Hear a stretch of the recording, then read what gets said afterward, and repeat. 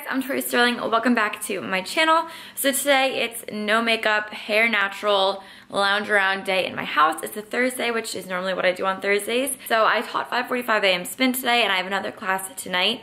And I'm actually cooking up breakfast right now.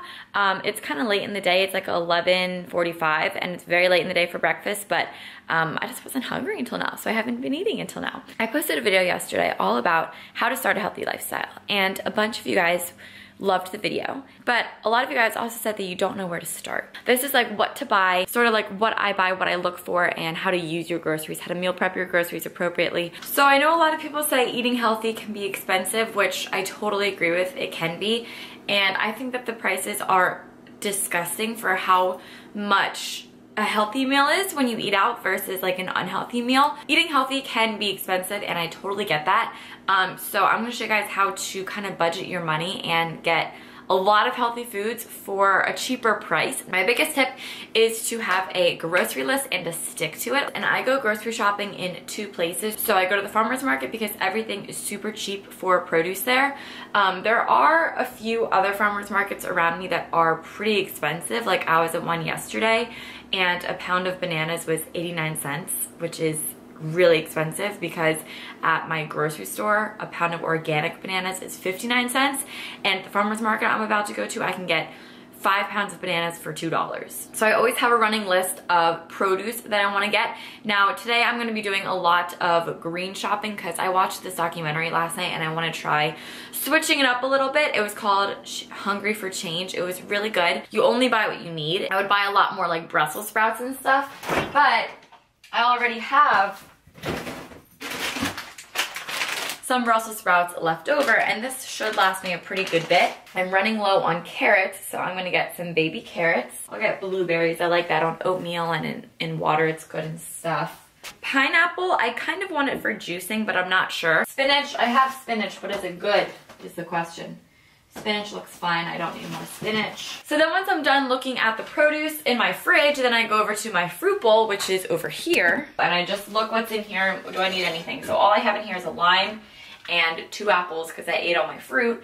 But all I'm gonna put in here is apples and a lime. I used to get like peaches and like all this stuff, but I never would eat them, so I'm not gonna get them anymore. I have garlic here. Those are dates. I love dates in my smoothies. I think they're really good. Okay, I think I'm good on produce. Once my produce is done, I'll look in my fridge for anything else that is not produce that I do need to go stock up on and rebuy. All right, so I need to get some hummus.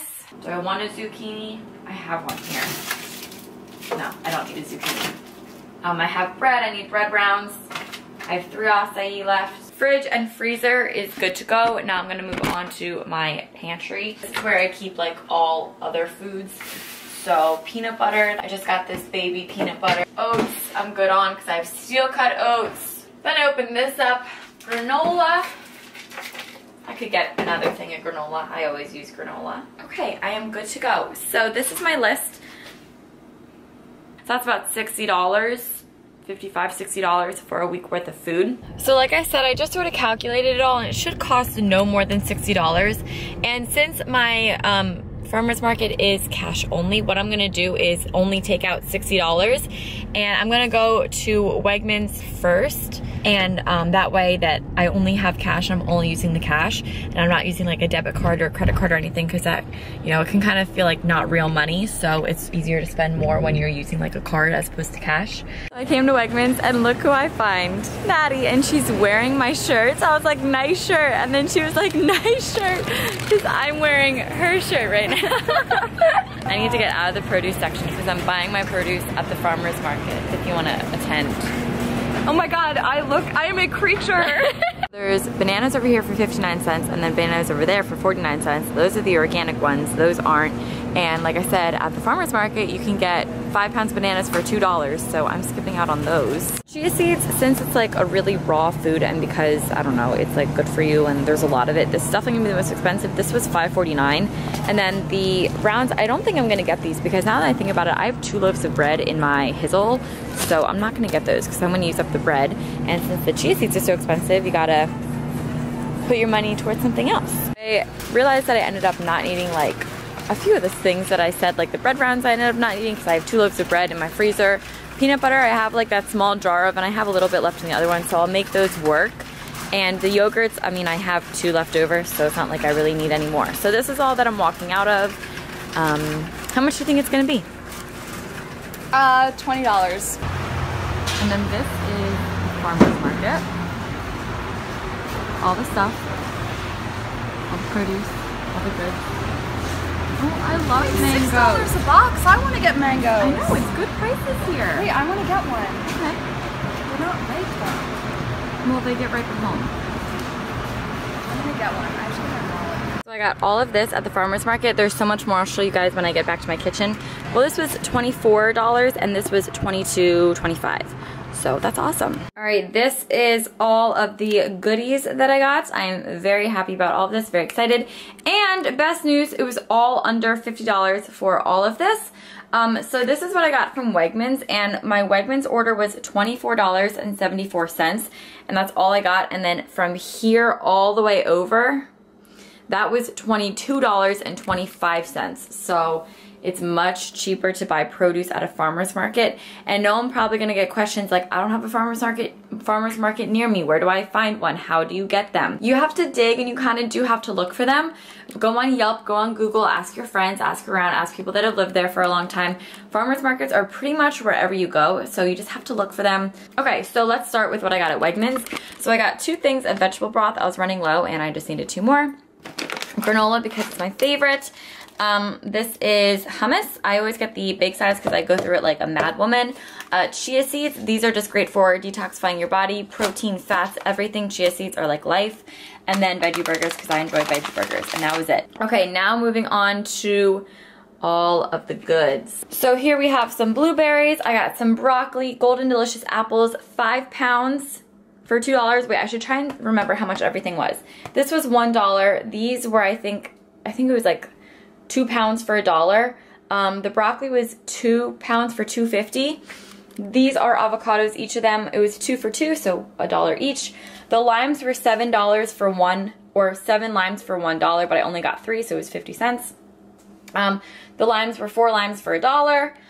Uh, this is kale. I think it was two for 250, but I only got one. Celery, it was also two for 250. I got so much celery, and I don't really like celery, but I'm gonna make a juice in a second, and I'll show you guys what to do with all this food in a second too. And it just smells so good, so I think this is a new leaf for me. Cucumbers, I think it was three for a dollar. Pineapple, this was, I wanna say two or three dollars for one pineapple.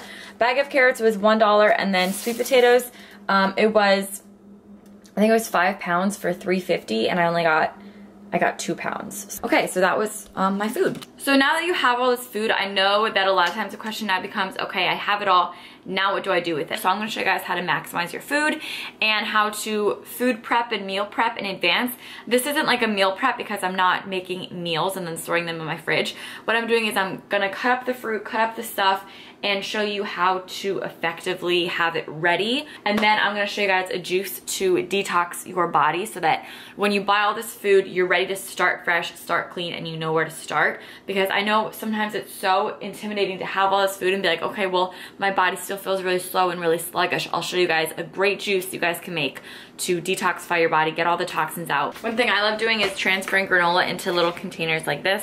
This way you can mix granola if you want.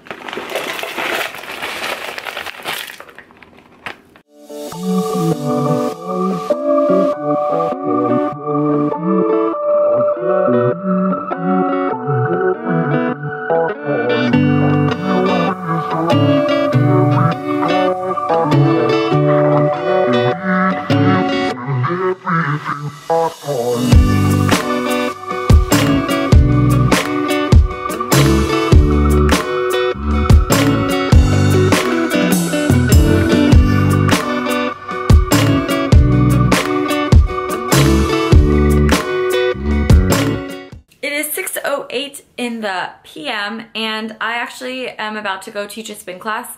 Uh, not right now, I haven't like gotten dressed or got, gotten ready for it yet.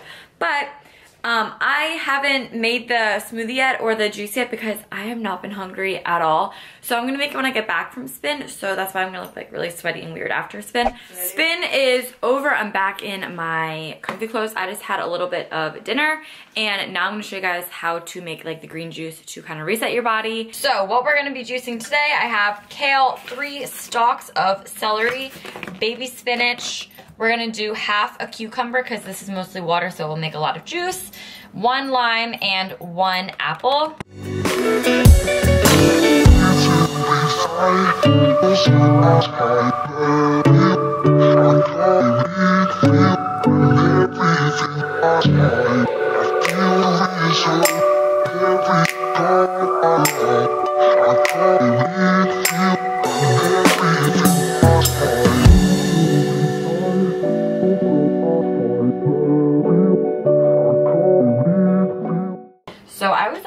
My stuff in weck jars. I don't know why, it just makes the experience so much better. To detoxify the body and reset it, chia seeds are like the best thing you can do for your body. I'm serious, they are the best. So just sprinkle some chia seeds in your green juice. It's so good. Ooh. It's so good. It is good. It's like the perfect sweetness. Mm-hmm. Pineapple would have been too sweet. Yeah, the apple is a good touch. So this is great to drink um, every day to reset your body. It's really good to drink to flush out all the toxins because like what I was saying earlier, a lot of times people will buy all this food and they don't know where to start. Um, they feel like you need a fresh start and that's why a lot of people start on Mondays or at the beginning of a new month, beginning of a new year. This is your fresh start. All you have to do is drink this and your body's gonna be cleaned out.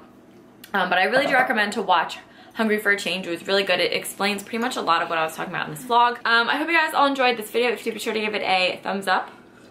And let me know in the comments down below if you guys like budgeted videos like this. Um, if you want more, I can give you guys more recipe ideas or anything like that. So yeah, I hope you guys all enjoy it and I'll talk to you in my next video. Bye.